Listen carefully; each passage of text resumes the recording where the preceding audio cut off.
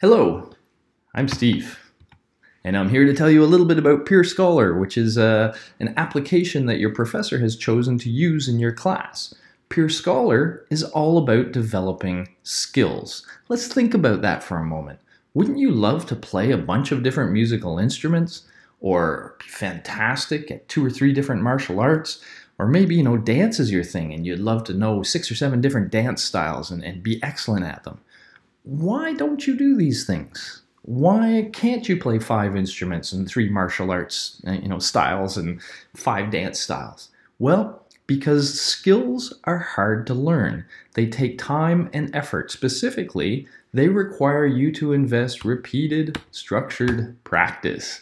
You have to use these skills over and over. And when you start, they tend to be not very good. But with repeated practice, they slowly get better, more fluent, more natural. So that's what we're hoping to do with peerScholar, but we're not going to teach you to play musical instruments or, well, we could actually. But really, the focus of peerScholar is on different skills, sometimes called the skills of success. So, thinking skills like critical and creative thought that help you solve problems, interaction skills like collaboration and communication that allow you to work effectively with others and self knowledge skills, knowing your own strengths and weaknesses, something we call metacognition. Uh, and that's very important to personal growth. Uh, and finally, in some cases, of course, you actually have to learn hands on skills, and peerScholar can help with that as well.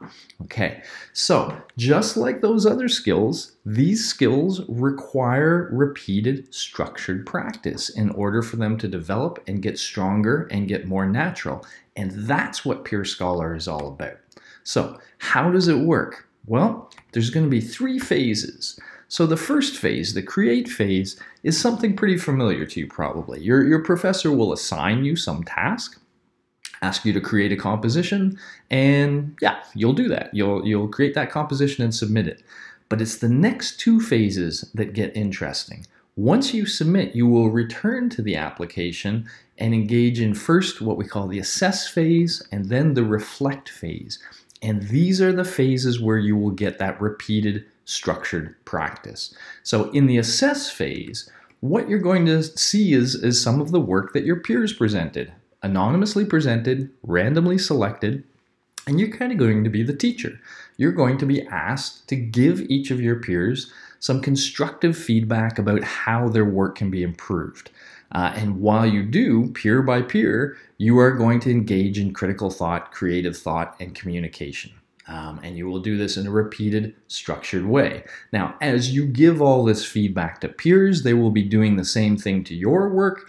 So, in the reflect phase, it's all about learning from the feedback you received. So, once again, peer by peer, you will analyze their feedback, engaging once again critical thought, creative thought. In this case, it's receptive communication, you know, learning to receive information.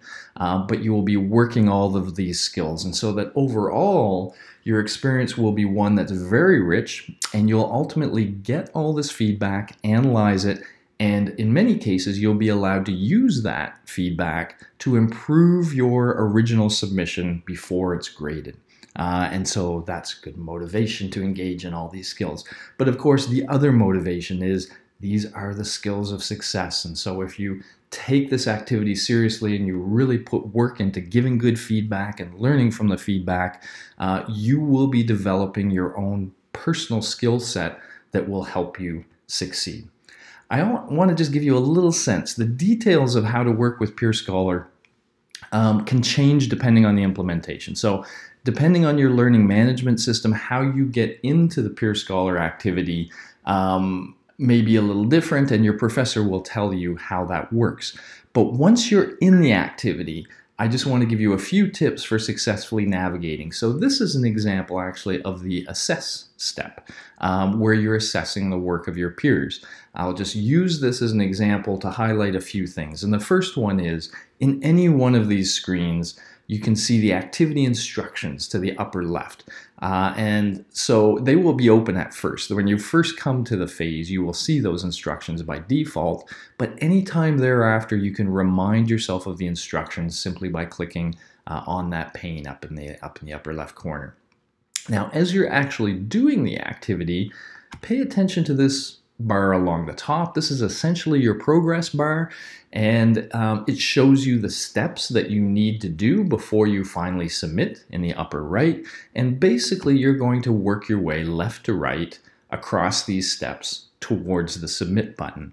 Um, so for example, in this phase that I'm showing you, you would start with the Peer 1 tab and you would assess that peer and then move on to Peer 2, Peer 3, Peer 4, Peer 5, etc.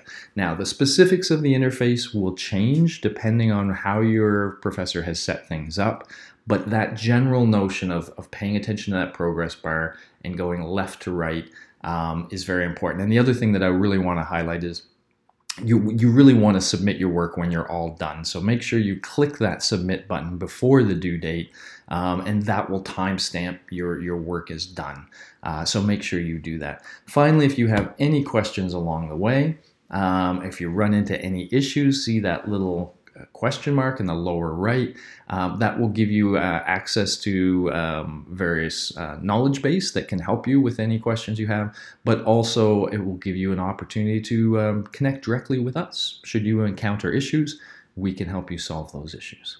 Okay, so that's it. Um, this is the bigger peerScholar team, lest you think it's only one cartoon running the whole show. Uh, and I just want to end by saying, you know, we we all are really happy that you guys are, are using peerScholar, and we hope you enjoy the process, learn a lot from it, and we wish you nothing but success in your future.